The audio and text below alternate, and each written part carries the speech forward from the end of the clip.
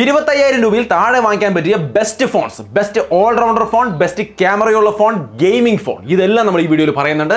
So ഒരു ആറ് ഫോണുകൾ കണ്ടു നോക്കൂ നിങ്ങൾക്ക് പറ്റിയ ഫോൺ ഇതിലുണ്ടോ എന്നുള്ളത്. അപ്പോൾ ചൂസ് ചെയ്യാൻ പറ്റും. സോ ഫസ്റ്റ് ഓഫ് ഓൾ ആദ്യം തന്നെ ഒരു ഓൾറൗണ്ടർ ഫോൺ ഏതാണെന്ന് ചോദിച്ചു കഴിഞ്ഞാൽ ഒരുവിധം എല്ലാ ഘടകങ്ങളും ഉൾപ്പെടുന്ന ഒരു ഫോണാണ് മോട്ടോയുടെ എഡ്ജ് ഫിഫ്റ്റി ഫ്യൂഷൻ ഈ ഒരു ഫോണിൽ Snapdragon seven S gen two എന്ന് പറയുന്ന പ്രോസറാണ് ഈ ഒരു പ്രൈസ് റേഞ്ച് നോക്കുമ്പോൾ ഇത് അപ്പടി ബെസ്റ്റ് എന്ന് പറയാൻ പറ്റില്ല. ഇതിനേക്കാൾ ബെസ്റ്റ് പെർഫോമൻസ് ഉള്ള ഒരുപാട് ഫോണുകളുണ്ട് ബട്ട് ഇത് ഒരിക്കലും മോശമല്ല. അടിപൊളി പെർഫോമൻസ് ആണ്. സ്മൂത്ത് ആയിട്ട് ഗെയിം കളിക്കാം. നല്ല പെർഫോമൻസ് ആണ്. അതിന്റെ ഒപ്പം മൂന്ന് വർഷത്തെ ആൻഡ്രോയിഡ് അപ്ഡേറ്റും നാല് വർഷത്തെ സെക്യൂരിറ്റി അപ്ഡേറ്റും കിട്ടും. ഈ ഫോൺ വളരെ ലൈറ്റ് വെയിറ്റും സ്ലിമ്മുമാണ് കെർവിഡ് പി ഒ ഡിസ്പ്ലേ ആണ് വരുന്നത്. അതും നല്ല ക്വാളിറ്റിയുള്ള നൂറ്റി നാൽപ്പത്തിനാല് ഹെഡ്സിന്റെ ഡിസ്പ്ലേ ആണ്. അയ്യായിരം എം എച്ച് ബാറ്ററിക്ക് അറുപത്തെട്ട് വാട്ടിന്റെ ഫാസ്റ്റ് ചാർജിങ് കൊടുത്തിട്ടുണ്ട്. ക്യാമറയും അത്യാവശ്യം നല്ലതാണ്. ചില ക്യാമറ സാമ്പിളുകൾ നിങ്ങൾക്ക് ഇവിടെ കാണാം. അത്യാവശ്യം നല്ല ഫോട്ടോസും ആണ് കിട്ടുന്നത്. സോ എല്ലാ മേഖലകളിലെ കാര്യങ്ങളും ഐ പി സിക്സ് റേറ്റിംഗ് അടക്കം എല്ലാതരം സംഭവങ്ങളും ഉൾപ്പെടുന്ന ഒരു ഫോൺ ആയതുകൊണ്ട് തന്നെ ഒരു നല്ല ഓൾറൗണ്ടർ ഫോൺ എന്ന് പറയാം. ഇതിലാകെ ശ്രദ്ധിക്കാനുള്ളത് ഒരേ ഒരു കാര്യം. ഇതിന്റെ സർവീസ് നിങ്ങളുടെ അടുത്ത് ഉണ്ടോ എന്ന് ഒന്ന് ചെക്ക് ചെയ്യുക. കാരണം ചില ആൾക്കാർ കമന്റ് വഴി പറയുന്നുണ്ടായിരുന്നു. അവിടെ പലയിടത്തും സർവീസ് ഇല്ല എന്നുള്ള കാര്യം. സോ സർവീസിന്റെ കാര്യം ഒന്ന് ഡബിൾ ചെക്ക് ചെയ്യുക. നിങ്ങളുടെ അടുത്തൊക്കെ കിട്ടുമെന്നുള്ളത് ഉറപ്പിക്കുക. എന്നിട്ട് ചൂസ് ചെയ്യുക. ഇൻ കേസ് എന്തെങ്കിലും കംപ്ലൈന്റ് വന്നാൽ ഈസി ആക്സസ് അതൊന്ന് ചെക്ക് ചെയ്യുന്നത് നല്ലതാണ് അത് ഈ ഫോണിന് മാത്രമല്ല ഏത് ഫോൺ എടുക്കുമ്പോഴും അതൊന്ന് ചെക്ക് ചെയ്തിരിക്കുന്നത് നല്ലതാണ്. അതുപോലെ തന്നെ ഇതിന്റെ ഡീറ്റെയിൽ വീഡിയോ ഒക്കെ നമ്മുടെ ചാനലിലുണ്ട് കണ്ടു നോക്കി കാര്യങ്ങൾ വ്യക്തമായി മനസ്സിലാക്കിയിട്ട് മാത്രം ചൂസ് ചെയ്യുക ഇനി അടുത്ത ഫോണാണ് പോക്കോ എ സിക്സ് പ്രോ ഈ ഫോൺ വന്നിട്ട് ജസ്റ്റ് ഓൾറൗണ്ടർ ഫോൺ എന്ന രീതിയിൽ മാത്രമല്ല ഇതൊരു ഗെയിമിംഗ് ഓറിയന്റഡ് ഫോൺ കൂടിയാണെന്ന് വേണമെങ്കിൽ പറയാം. കാരണം ഇതിലുള്ള പ്രോസസർ വന്നിട്ട് അത്യാവശ്യം നല്ല പെർഫോമൻസ് തരും. ഡയമണ്ട് സിറ്റി എണ്ണായിരത്തി മുന്നൂറ് അൾട്ര എന്ന പ്രോസറാണ് ഇതിനകത്ത് അറുപത്തിനാല്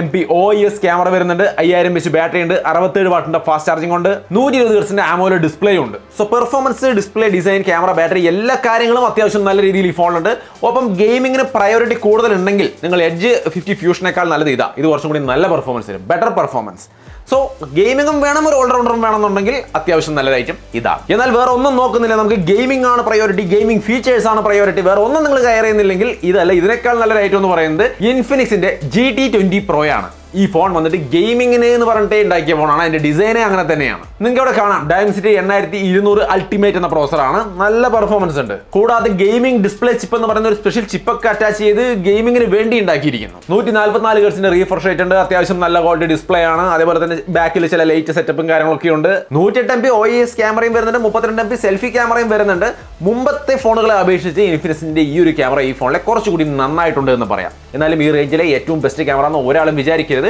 ക്യാമറ നോക്കിക്കൊണ്ട് ഈ ഫോൺ എടുക്കണ്ടെന്ന് തന്നെ ഞാൻ പറയുള്ളൂ. ബട്ട് ഞാൻ നേരത്തെ പറഞ്ഞ പോലെ ഗെയിമിംഗ് ആണ് ഫോക്കസ് എങ്കിൽ ഇത് ഓക്കെയാണ് സോ അപ്പോൾ നമ്മളിപ്പോൾ പറഞ്ഞത് രണ്ടെണ്ണം ഓൾറൗണ്ടർ ഫോൺ ആ രണ്ടിലും ക്യാമറയും നല്ലതാണ്. സോ ക്യാമറ ഫോൺ നോക്കുന്നവർക്കും ഓൾറൗണ്ടർ ഫോൺ നോക്കുന്നവർക്കും ആദ്യം പറഞ്ഞ രണ്ട് ഫോണുകളും പറ്റുമെന്ന് തോന്നുന്നു. ചെക്ക് ചെയ്യുക. ഗെയിമിംഗ് മാത്രമാണ് പ്രയോറിറ്റി എങ്കിൽ ഈ പറഞ്ഞ ഇൻഫിനിക്സ് നോക്കുക.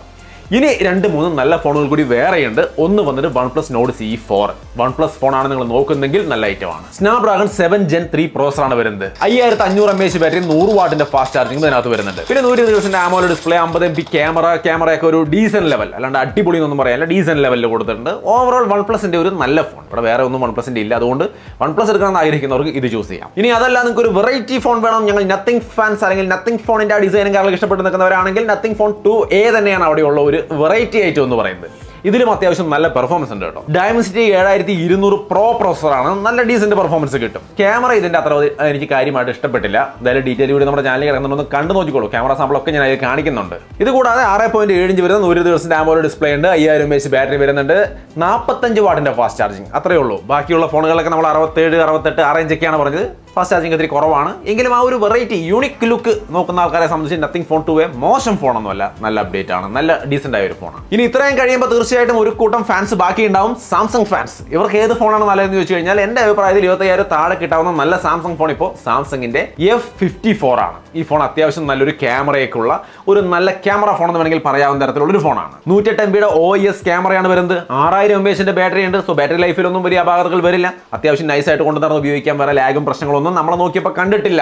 എഫ് ഫിഫ്റ്റി ഫോറിന്റെ കാര്യമാണ് പറയുന്നത്. നാല് വർഷത്തെ ആൻഡ്രോയിഡ് അപ്ഡേറ്റും അഞ്ചു വർഷത്തെ സെക്യൂരിറ്റി അപ്ഡേറ്റും കിട്ടും. പിന്നെ വൺ യു ഐ സിക്സ് അതിന്റെതായ ഒരുപാട് ഫീച്ചറുകൾ എല്ലാം ഇതിനകത്ത് വരുന്നുണ്ട്. എക്സിനോസ് ആയിരത്തി മുന്നൂറ്റി എൺപത് എന്ന പ്രോസസ്സറാണ് വരുന്നത്. അതിന് ഞാൻ ഈ പറഞ്ഞ രീതിയിൽ അത്യാവശ്യം ഡീസന്റ് ആയ ഒരു പെർഫോമൻസ് തരുന്ന തരത്തിലുള്ള കപ്പാസിറ്റിയുള്ള പ്രോസറാണ് എക്സിനോസ് എന്ന് പറയുമ്പോൾ ഐ എക്സിനോസ് എന്ന് വിചാരിക്കേണ്ട. ഇത് അത്യാവശ്യം നല്ലതാണ്.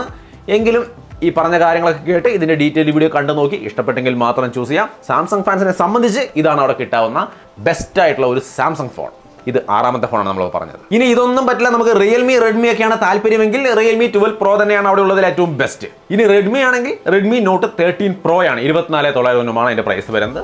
സോ തീർച്ചയായിട്ടും വേറെ ചിന്തിക്കാനൊന്നുമില്ല. റെഡ്മി ഫാൻസ് ആണെങ്കിൽ പിന്നെ അത് തന്നെ എടുക്കുക. സോ അപ്പോൾ എന്ത് തന്നെ ആയാലും ഈ പറഞ്ഞ എല്ലാ ഫോണുകളുടെയും വിശദമായ വീഡിയോസ് കണ്ടു നോക്കുക. നമുക്ക് ഇഷ്ടപ്പെട്ടു എന്ന് ഉറപ്പിക്കുക. എന്നിട്ട് ചൂസ് ചെയ്യുക. ഞാൻ പറഞ്ഞത് മാത്രം കേട്ടുകൊണ്ട് അല്ലെങ്കിൽ റിവ്യൂ മാത്രം കണ്ടുകൊണ്ട് തീരുമാനിക്കേണ്ട. ചുറ്റുപാടുള്ള സുഹൃത്തുക്കളോടൊക്കെ അന്വേഷിച്ച് ഒക്കെ അടിപൊളിയാണ് എന്നുള്ള കാര്യം ഉറപ്പിച്ചിട്ട് എടുക്കുക. എന്ത് തന്നെയാലും ഇതൊക്കെയാണ് ഈ റേഞ്ചിലെ ബെസ്റ്റ് ഫോണുകളായിട്ട് ഞാൻ കാണുന്നത്. എന്തെങ്കിലുമൊക്കെ ഞാൻ മിസ് ചെയ്തിട്ടുണ്ടോ എന്ന് എനിക്കൊരു സംശയം ഇല്ലാതില്ല. എന്തെങ്കിലും മിസ് ആയിട്ട് നിങ്ങൾക്ക് തോന്നുന്നുണ്ടെങ്കിൽ തീർച്ചയായിട്ടും കമന്റ് എല്ലാവരും കമന്റ് കൂടി പരിശോധിക്കുക. So അത്രയുമാണ് best phone under twenty five thousand എന്നൊരു വീഡിയോ വീഡിയോ ഇഷ്ടപ്പെട്ടാൽ ലൈക്ക് ചെയ്യാനും ഷെയർ ചെയ്യാനും മറക്കണ്ട വീണ്ടും ഒരു വീഡിയോയിൽ കാണാം. ബൈ.